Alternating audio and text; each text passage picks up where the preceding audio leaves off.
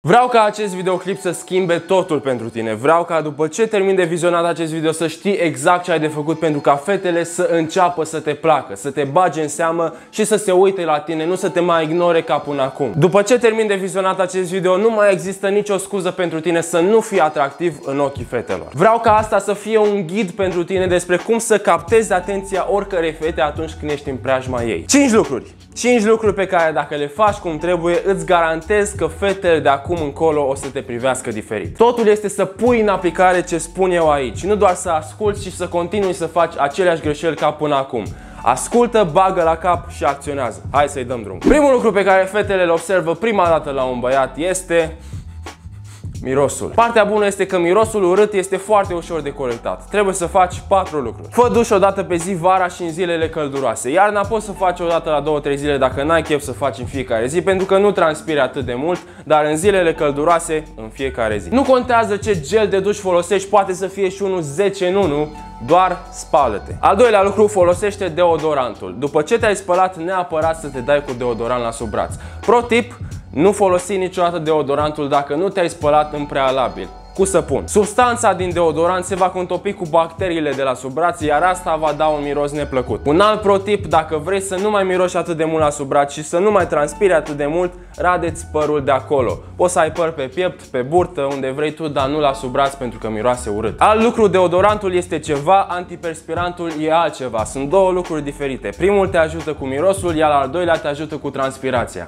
Există și sticuri 2 în 1, doar ca să știi. Al treilea lucru de care trebuie să ai grijă este mirosul mirosul oral. Puține lucruri sunt mai respingătoare decât atunci când te apropii de cineva pentru o îmbrățișare sau să-i spui ceva la ureche și pute gură. Ca să previi asta, ață dentară, spăla pe dinți de două ori pe zi și apă de gură. În ordinea asta pentru că omoară cel mai eficient bacteriile din gură care dau mirosul neplăcut. Pe lângă asta, după ce mănânci, recomand gumă. Să ai un pachet de gumă în fiecare zi la tine. Și al patrulea lucru de care trebuie să ai grijă ca să eradichezi de tot orice fel de miros neplăcut este să te dai cu parfum. Așa cum OG canalului știu. Nu trebuie să fie un parfum scump Pur și simplu du-te la un magazin de cosmetice, vezi dacă au ceva testere și cumpără-l pe el la care îți place. Am vrut de mult să fac un videoclip despre parfumuri și am o idee mișto în cap dar m-a cam împiedicat pandemia până acum, însă am revenit la normal și cred că pot să pun ideea în aplicare. Lasă un like dacă vrei să vezi videoclipul cu parfumuri, dacă se strâng 1000 de like-uri la acest videoclip,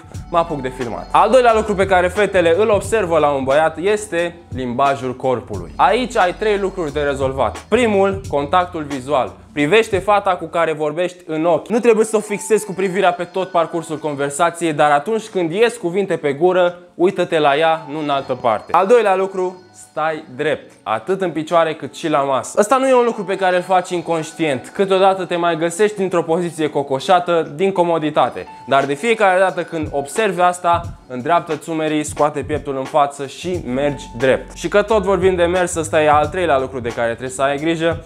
Când eram în clasa a noua, am fost la un casting de modeling. Îți recomand să te duci și tu. Chiar dacă n-ajungi model, măcar înveți cum să mergi elegant. Ce sfaturi pot să-ți ofer chiar acum este să mergi cu mâinile pe lângă corp. Nu să stai cu ele fixe ca un robot. Tot în clasa nouă am participat la balul bobocilor la liceu și erau niște băieți acolo care defilau cu mâinile lipite de trunchi. Zici că erau niște pitici de grădină. Dacă ești atent la aceste trei lucruri, îți garantez că oamenii te vor privi cu mai mult respect și tu te vei simți mai bine pentru că poziția corpului influențează starea de spirit. Înainte să continuăm cu al treilea lucru pe care fetele îl observă la băieți, vreau să anunț că oamenii minunați de la punctul IT împreună cu Facultatea de Inginerie în Limbi Străine organizează concursul național de programare și antreprenoriat numit Hardcore Antreprenor 2.0. Concursul este destinat copiilor și tinerilor între 10 și 19 ani cu premii de peste 5.000 de euro. Ce trebuie să faci pentru a câștiga? Să dezvolți o idee de business, adică să creezi o aplicație mobilă, să faci un plan de afaceri și să convingi juriul că ideea ta merită să câștige. Înscrierile se fac până pe 11 aprilie, iar indiferent dacă ideea ta este câștigătoare sau nu, vei avea acces gratuit la cursuri de programare, de antreprenoriat și multe alte activități distractive împreună cu specialiști în domeniu, din care vei deprinde o grămadă de aptitudini care te vor ajuta în cariera ta de programator sau antreprenor. Va trebui să cunoști engleză, franceză sau germană pentru a putea participa, iar dacă îți sună bine, intră pe punctul it.club sau pe linkul din descriere pentru a te putea înscrie. Încă o dată, punctul it.club sau linkul din descriere Intră acum pentru a te înscrie pentru că eu cred că tinerii antreprenori sunt cei care vor schimba lumea. Al treilea lucru pe care fetele îl observă la băieți este nivelul de încredere. E determinat în mare parte de acțiunile tale, acțiuni care câștigă respectul celor din jur și îți oferă ție un statut social ridicat. Și fetele observă asta imediat. Observă dacă un băiat are încredere în el, dacă e mulțumit cu persoana care este sau pretinde că e altcineva. Cum crește acest nivel de încredere? Ei bine, e puțin mai dificil decât uh, să elimini mirosul sau să-ți îndrept spatele, dar îți pot da și aici trei sfaturi. Primul, fii curajos. Fă mai des lucruri care te sperie, lucruri care trebuie făcute în ciuda fricii. Du-te și vorbește cu fata de care îți place, apucă-te de sală, de karate sau de orice altă activitate pe care o tot amâni. Confruntă pe oricine care abuză de putere împotriva ta, chiar și părinții sau profesorii. Nu fi un laș, nu fi un om pe care alții îl pot da la o parte cu ușurință sau îl pot manipula după placul lor. Trebuie să faci lucruri inconfortabile. Eu merg pe principiul că dacă mă sperie, trebuie să o fac. Dacă mă sperie, e ceva valoros acolo acolo din care pot învăța. Și după ce faci acel lucru greu, inconfortabil, realizezi că, bă, nu sunt chiar așa papălapte cum credeam. Ai făcut un lucru greu, important și asta îți oferă o stimă de sine, o încredere mai mare. Al doilea lucru, nu minți. Statutul se construiește prin încrederea pe care ceilalți ți oferă. Dacă minți, încrederea aia e pierdută și nu vei mai avea niciun prieten adevărat. Ai nevoie de prieteni, ai nevoie de oameni lângă tine care să te ajute pentru că să reușești în orice singur e foarte greu. Al treilea lucru, oferă respect. Să nu crezi că ești buricul pământului. Tratează pe oricine ca și cum ai avea ceva de învățat de la el. Oferă respect și el se va întoarce. Al patrulea lucru pe care fetele îl observă la un băiat este aspectul fizic. Nici aici situația nu e foarte simplă, dar ca să o simplific pe cât posibil, trei lucruri. Părul.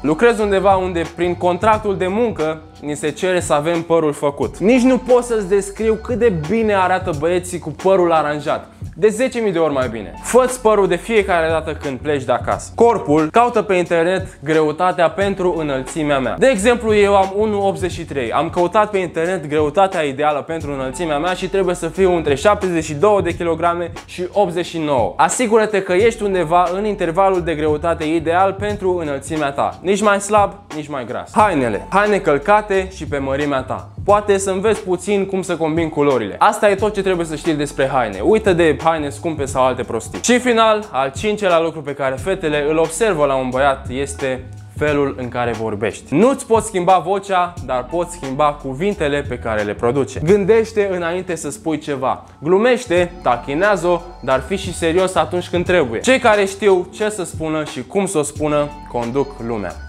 Gândește-te la asta. Așadar, ăsta este cel mai simplu ghid pe care pot să ți-l ofer ca să ai mai mult succes cu fetele. Dacă nici după ce faci corect ce ți-am spus în acest video, nu încep fetele să te placă, renunț. Da, oameni, acesta a fost videoclipul de azi. Dacă v-a plăcut și v-a fost de ajutor, vă rog frumos să-l distribuiți mai departe, să vă abonați, bineînțeles, dacă n-ați făcut-o, să lăsați un like și să-mi dați un follow pe Instagram la Edi Advice, unde puteți, bineînțeles, să-mi adresați orice fel de întrebare legată de viața voastră personală, iar eu voi încerca să vă ajut. De asemenea, dacă ai o problemă personală urgentă și ai nevoie de ajutor, poți apăsa butonul alături de mai jos și vei avea acces la grupul nostru de Discord numit Masa Sfaturilor, unde încercăm împreună să rezolvăm problemele personale pe care adolescenții le întâmpină. De asemenea, dacă te alături canalului, poți avea acces și la numărul meu de telefon prin care putem vorbi la telefon sau prin mesaje în legătură cu orice problemă pe care o întâmpin. Și acestea fiind spuse, eu am fost Advice sau Edi și până data viitoare nu uita, pune eu în reușită, nu în rateu. Pa, pa!